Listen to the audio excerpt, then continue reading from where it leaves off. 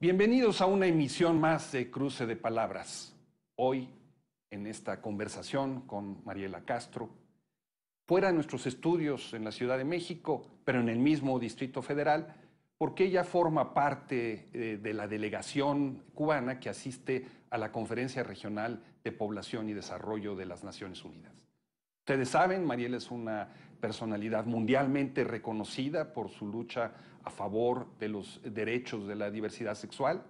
Dirige en su país el Centro Nacional de Educación Sexual y además de eso es diputada a la Asamblea Nacional en Cuba.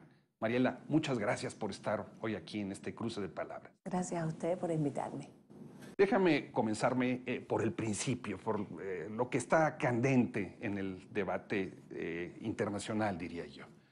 Un escritor cubano, Leonardo Padura, escribió una novela, Máscaras, donde narra la historia de la persecución en contra de los homosexuales en Cuba en el marco de la revolución. Después se han venido diciendo muchas cosas sobre lo sucedido en la isla. Se habla de que eh, es un país machista-leninista, queriendo hacer eh, burla. Eh, sin embargo, al mismo tiempo, tú estás dirigiendo a una institución del Estado que defiende la diversidad sexual. ¿Qué sucedió realmente en ese pasado cubano y qué está sucediendo ahora? ¿Por qué estás tú comprometida con, esta causa? Yo sé, son muchas preguntas al mismo tiempo. A ver, voy a aprovechar la ocasión para eh, esclarecer un término que se utiliza mucho, eso de machismo, leninismo, porque realmente es un disparate, porque eh, primero eso que hablamos de machismo no tiene nada que ver con eh, lo que incluso esa tendencia de pensamiento de un pensador ruso del tiempo de Lenin, con quien incluso tuvieron controversias, que era Mach, eh, entonces, un poco como que se mezclan las cosas y no dan lo que tiene que dar. Hasta Lenin escribió un libro, Materialismo y Empiriocriticismo, criticando esto, ¿verdad? Exacto. Entonces, incluso em, Lenin fue el primer estadista del mundo en eliminar la penalidad a la homosexualidad cuando quitó el, el Código Penal zarista. Fue el primero en que cuando lo renovó no incluyó el penalizar a estas personas. Eh, y además trabajó muy fuertemente en políticas eh, por los derechos de las mujeres.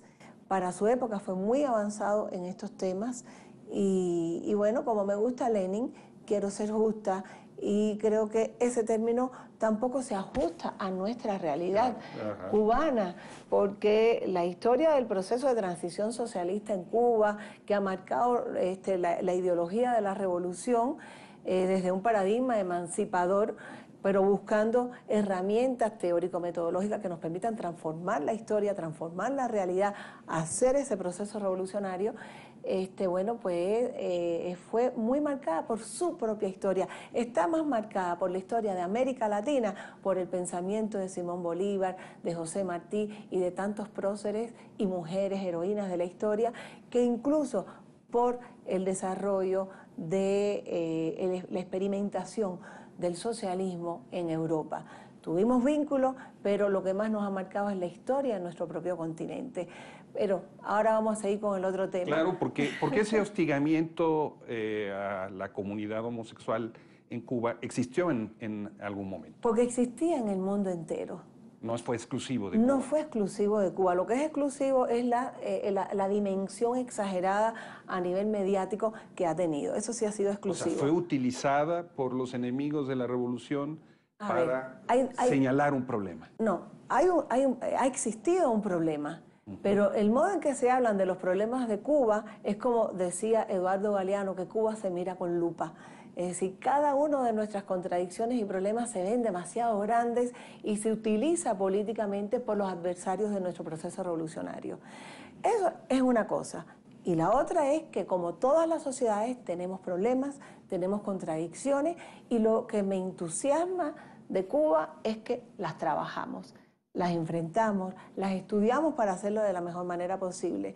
Entonces, eh, todas las sociedades, incluyendo las nórdicas, las europeas, los de países desarrollados, son tan machistas como los países subdesarrollados. O sea, la homofobia no es un fenómeno exclusivo de Cuba. Exactamente, el mundo es patriarcal, está diseñado desde el poder patriarcal desde hace siglos, desde que el ser humano descubrió el poder de un ser humano sobre otro, de unos sobre otros. Y entonces, eh, eh, cuando a mí a veces no me gusta que dicen, ah, el machismo latinoamericano, el machismo cubano, ay, déjense crear estereotipos, que el machismo anda por donde quiera con expresiones muy variadas. Lo importante es que seamos todas y todas en todas partes del mundo conscientes de este problema y lo enfrentemos.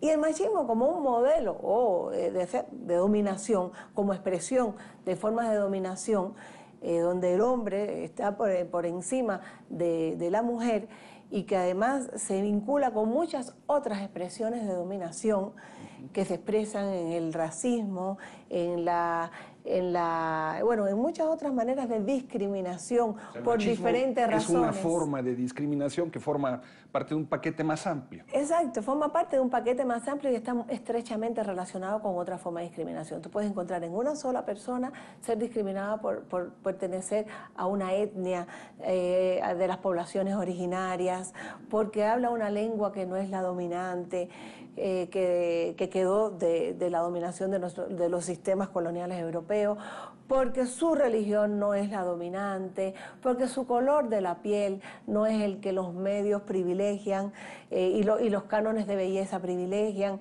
por muchas razones, por ser mujer, por ser pobre, por muchas razones. Y en Cuba, Mariela, ¿cuándo es que comienzan a cambiar las cosas? ¿Cuándo esto se pone como parte de la agenda política? Bueno, a ver, eh, una cosa que muchas personas les duele, quienes han amado y se han inspirado en la revolución cubana, les duele los errores que haya podido cometerse dentro, del proceso revolucionario. Es decir, y un error que se identifica es que en los primeros, yo diría, 30 años del proceso revolucionario, pero sobre todo los años 60 y 70, eh, había una actitud fuertemente homófoba institucionalizada. Eh, es decir, la, idea de que se podía reeducar, que era una desviación.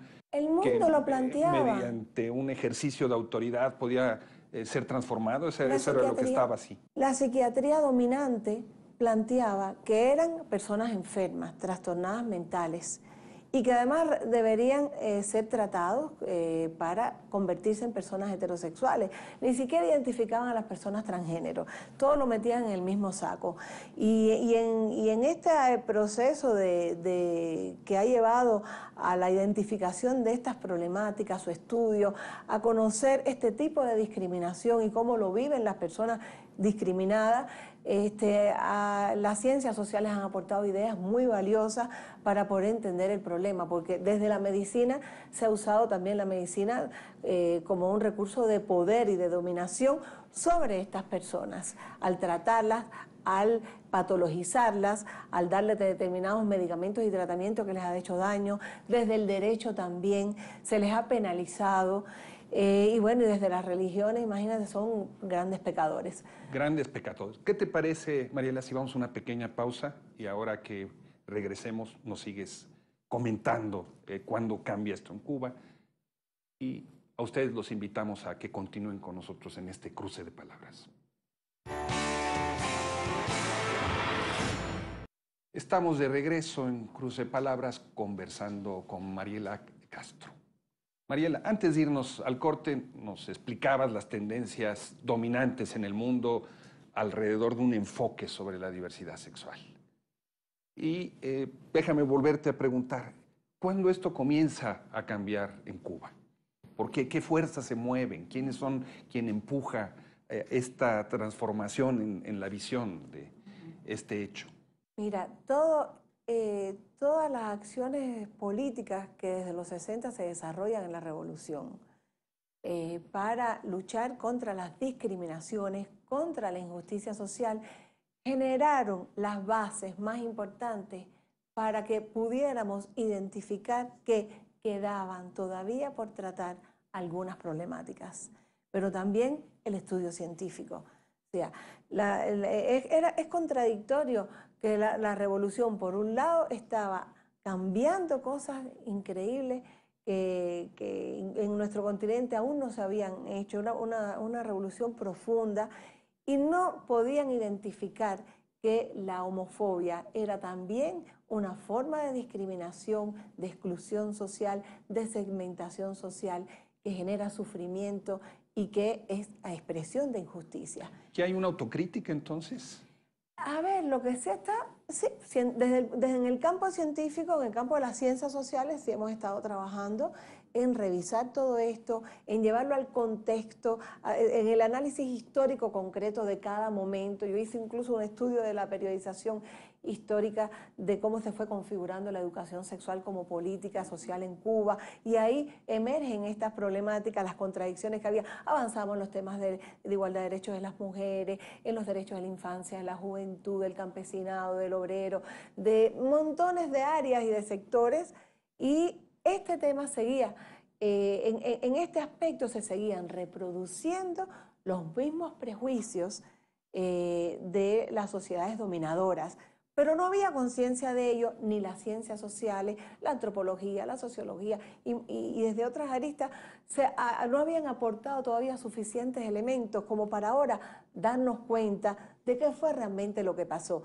No había conciencia de que se reproducía otra forma de dominación a través de la discriminación homofóbica y transfóbica. Y, desde la comunidad LGTB, eh, ¿habían críticas, había señalamientos, había apelaciones al Estado, al partido, al resto de la sociedad sobre la... política que estaban eh, siendo objeto? Lo que yo percibo eh, es que la comunidad LGBT también reproducía esos mismos prejuicios y se sentía aplastada por esos prejuicios, por esas ideas pseudocientíficas que dominaban.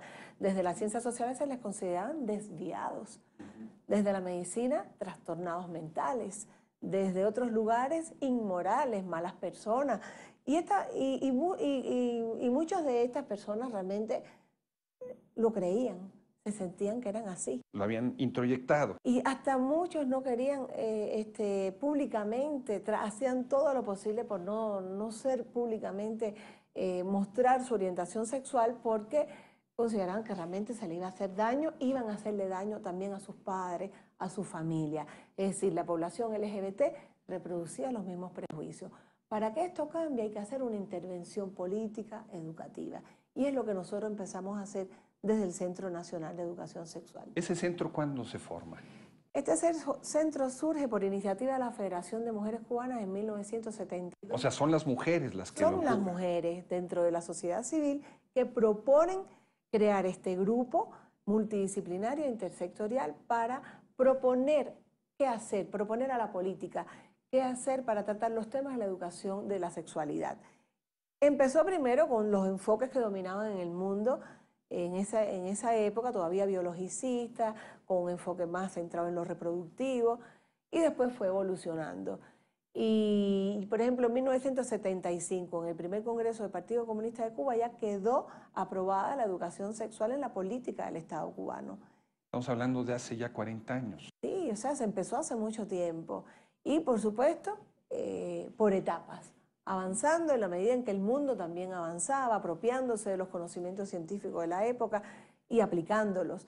Y poco a poco, por ejemplo, ya cuando la, Asociación Americana de Psiquiatría en 1974 despatologizó la homosexualidad, para que el mundo se enterara de ello pasó un tiempo, tanto que fue el 17 de mayo de 1990 que la Organización Mundial de la Salud lo acoge y elimina la homosexualidad como un trastorno mental, pero todavía deja a las personas transgénero y transexuales. ¿Tú dirías que eh, la avanzada para esta autocrítica viene de entonces del mundo de la ciencia o viene más bien del mundo de la política? O de varios lugares. Es, simultáneo. Es simultáneo. Viene del activismo, de la lucha por las libertades civiles en, en varios países, vienes de, la academia. Pero en el tuyo, en lo En el caso de Cuba, viene sobre todo, yo te diría, de, de la academia. De la academia. De nuestro trabajo académico, de nuestro trabajo de investigación científica y de identificar, bueno, cómo vamos a aportar elementos de análisis para que en la política social cubana esto, esta, estas realidades sean tratadas con criterios de justicia social. María Liz, ¿cómo es que tú te involucras eh, en esta problemática? ¿Por qué te pones al frente, digamos, de estas demandas? A ver, mira, en la medida que yo iba creciendo, yo me iba enamorando y apasionando con la revolución, que era lo que hacían mis padres, con su sacrificio, su dedicación, la historia de la revolución me, me caló. Sus héroes, el Che, Camilo, Fran Paí, Jesús Menéndez, tantos Julio Antonio Mella, tantos héroes en la historia, y Martí, figúrate, de los héroes de la independencia. La historia de Cuba es apasionante como todas las historias y sobre todo cuando tiene ese componente de lucha por la emancipación humana. Épico. Eso es maravilloso. Entonces todo eso me iba, me iba emocionando, comprometiendo. Pero eso no hizo que yo no mirara las contradicciones. No sé por qué, será porque me gusta mucho conversar con las personas, que muchas personas me contaban cosas, me contaban sus tristezas, sus inquietudes, lo que no les gustaba de la revolución.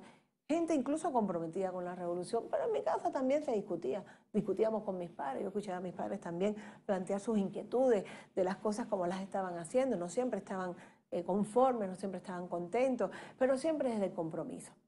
Y, eh, por supuesto, una de las tantas contradicciones que yo observaba era esta. Es decir, ¿cómo es que la revolución que está haciendo cosas tan lindas por el ser humano em, eh, no, no, no se da cuenta de que a estas personas se les está haciendo daño? ¿De dónde viene la razón para excluirlas, para considerarlas menos valiosas? Yo no tenía la respuesta, pero andaba buscándola todo el tiempo. Y, conocí muchas personas que me contaron sus historias personales. Las historias personales siempre conmueven.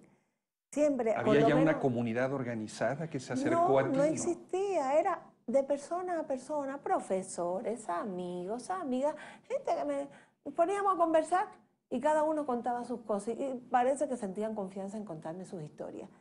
Y además porque yo era sensible, las recibía y quería entender. Y yo iba, por supuesto, a la casa a discutir. Y ahí también recibía por parte de mis padres que no andaba bien, que, eran cosas que no, no, sabían cómo resolverlas, que habían fuertes prejuicios, pero que no sabían cómo resolverlo. Y eso me, me, fue quedando a mí por dentro, entre las tantas cosas que yo sentía que la revolución tenía que resolver. No pensé que yo me iba a meter a tratar el asunto porque mi tema era educación eh, preescolar. me fascina el trabajo con, con, esas edades de 0 a 6 años.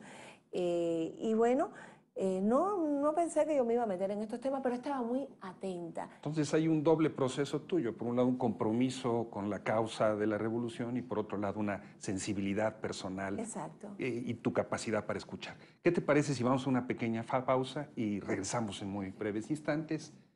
Y a ustedes los invitamos a que continúen con nosotros en esta interesantísima charla con Mariela Castro. Volvemos. Regresamos aquí a este segmento final de Cruce de Palabras en nuestra conversación del día de hoy con eh, Mariela Castro. Mariela, nos estabas comentando cómo te habías venido involucrando tú en este asunto, a pesar de que te, lo que te interesaba era el mundo preescolar, ¿no? de la educación preescolar. Pero bueno, después cuando empecé a trabajar en el Centro Nacional de Educación Sexual, estuve en contacto mucho más directo con eh, personas de la comunidad, de la población que son LGBT, y em, me empecé a sentir más, más provocada y motivada por estudiar. Y me puse a estudiar. Llevo mucho tiempo estudiando, terminé incluso como mi doctorado en sociología sobre los temas de la transexualidad de la política, o sea, como dar aporte, ideas a la política social en Cuba. E, eso es el tema de tu tesis de doctorado. Exacto, y sobre esta base es que he podido hacer mi activismo, organizar el activismo LGBT con muchas personas muy valiosas que han aportado ideas muy buenas. Y, bueno, ya después como diputada, también de alguna manera representar estos intereses, estas necesidades en la Asamblea Nacional del Poder Popular. ¿Quién te propuso a ti como diputada? Me, propuse, me, postularon dos organizaciones de masa, la Federación de Estudiantes Universitarios, que fueron a preguntarme si, estaba, si yo aceptaría, y la Federación de Mujeres Cubanas, que lo hacen en sus asambleas y tú te asumes como representante eh, de esa comunidad de la diversidad sexual. A ver. O en un sentido más amplio. Oficialmente no, pero yo me siento comprometida con la comunidad LGBTI dentro de la Asamblea. Por tanto, no voy a dejar de tratar estos temas en la Asamblea. ¿Y qué sientes tú que ha cambiado, Mariela, a partir de tu trabajo y, de pues, la acción de todos estos grupos que señalas? Bueno, mira, eh, un detalle es que en 1979 ya se empezaron a atender institucionalmente a las personas transexuales desde este grupo de trabajo de educación sexual que después se convirtió en lo que es ahora el CNSEX. Y como o sea, ya son muchos años tratando Muchos años. Entonces, la, eh, pero el tema homosexualidad no se trataba. Eh, solo a nivel de apoyar a las personas en consulta, pero no como una política de tratar sus derechos.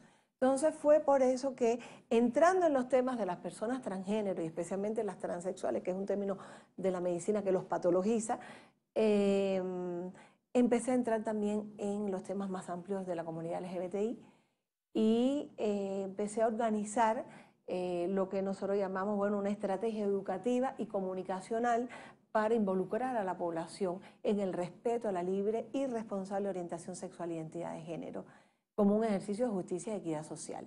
Y por eso es que en torno al mes de mayo, porque me gustó, había mucha gente en otros países me decía, ¿por qué ustedes no hacen Gay Pride? Y porque a mí no me gusta copiar lo que hacen otros, a mí me gustaría buscar algo más original y que sea más orgánico a nuestra sociedad. ¿Y entonces qué hacen ustedes? Entonces propuse crear estas eh, actividades, estas jornadas cubanas contra la homofobia y la transfobia.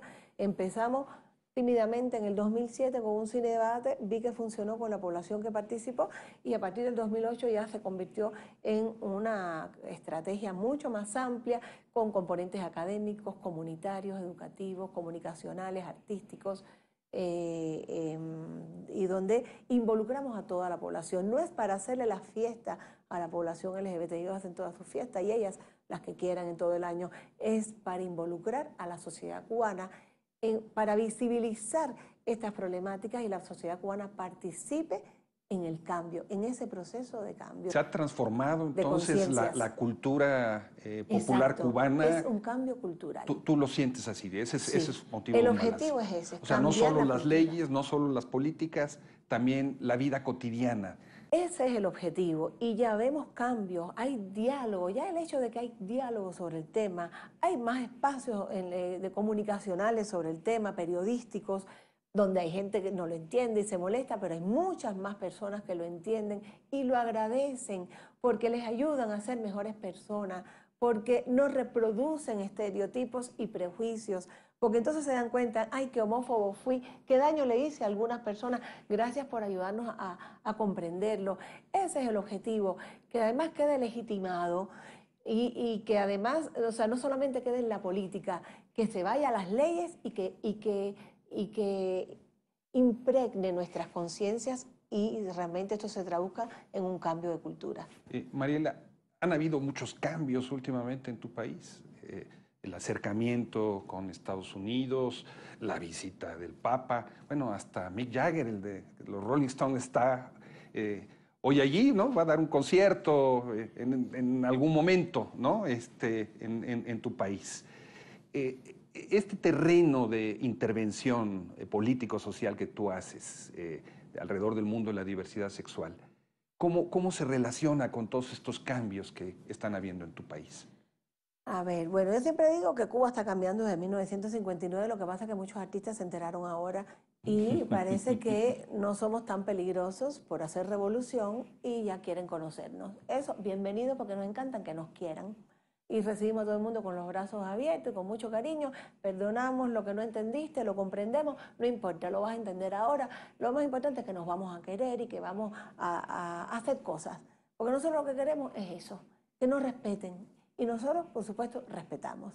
Ahora, eh, el hecho de, para mí, el hecho histórico más importante de los últimos años es el regreso de los cinco nuestros cinco héroes el 17 de diciembre, día de San Lázaro, que ahora también vamos a celebrar el Día de nuestros cinco santos héroes. Es un antes y un después en la historia ah, cubana. Sí, sí, sí, sí. Que de casualidad también se, se restablecieron relaciones Cuba-Estados Unidos, casualidad no, luego un largo proceso de trabajo, bienvenido también, porque menos hostilidad para vivir. Hay que disfrutar la vida, no se puede vivir sometido a condiciones de hostilidad, de bloqueo, de campañas mediáticas, de, de terrorismo de Estado que hemos sufrido en todos estos años de revolución.